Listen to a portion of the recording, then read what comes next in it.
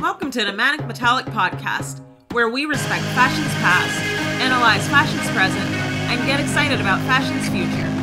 I'm Liberty Gaither, founder and creative principal of fashion media company Manic Metallic.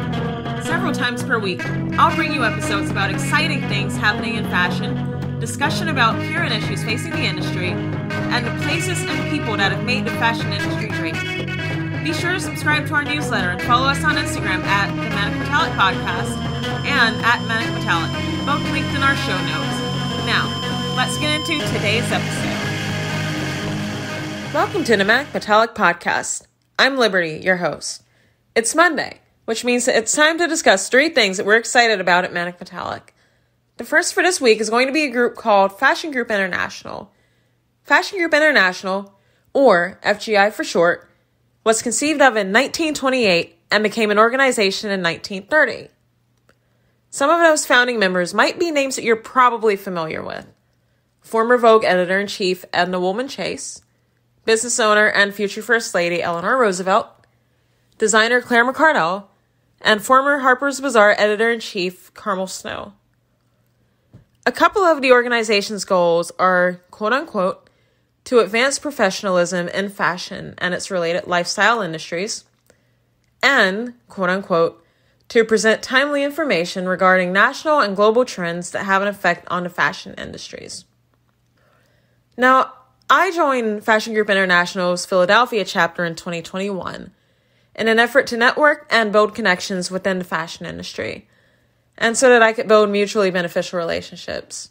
Because in fashion, I want to not only build connections, but my goal is to help others in the industry in whatever way that I can. And that is a philosophy that I try to bring to our work at Manic Metallic. We at Manic Metallic want to make fashion a better place for all involved. And that is simply not possible if we're only focused on getting as much as we can from everyone that we meet. We must be willing to give back to others, and we must be willing to serve and to bring our talents into the industry to help others to succeed. Now, this isn't a sponsored message.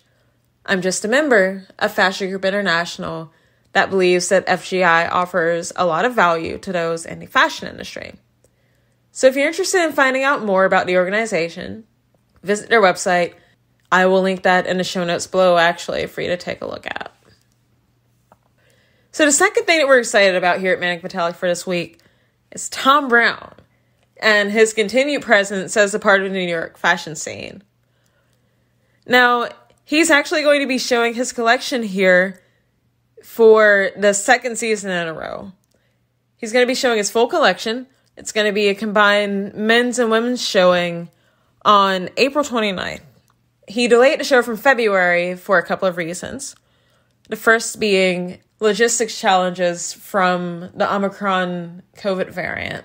And the second reason being that he wanted a show to be shown around the same time as the second part of the Met Costume Institute's in America, a lexicon of fashion exhibit at the Met. So Thom, an Allentown, Pennsylvania native, has actually shown in Paris for a number of years now, since 2017 to be exact. Now, here's what he had to say at the time about the move from New York Fashion Week to Paris. This is a quote taken from an interview at a Dover Street Market event in New York in July of 2017. Quote, I've thought about it for a while, and honestly, I didn't know what the big deal was. I've been showing men's in Paris for a while, so I have a presence there.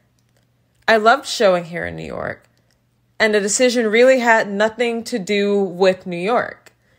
It was more the idea that Paris is honestly just a bigger audience, and it was time for our audience to get bigger. Now, around that time, a lot of New York designers were decamping for Paris, and it kind of devastated New York Fashion Week. So, the fact that he's come back to our New York calendar for a while is excellent for our fashion industry here in the States.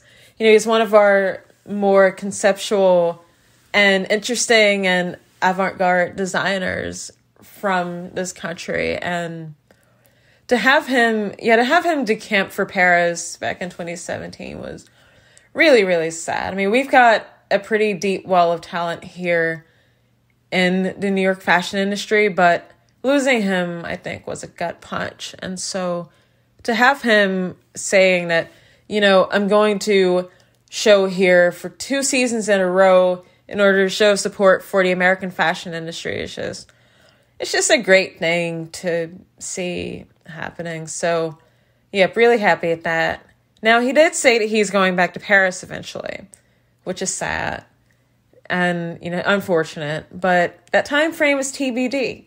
And you never know. Fingers crossed, maybe he'll decide that, you know, he likes the United States and he won't need to go back.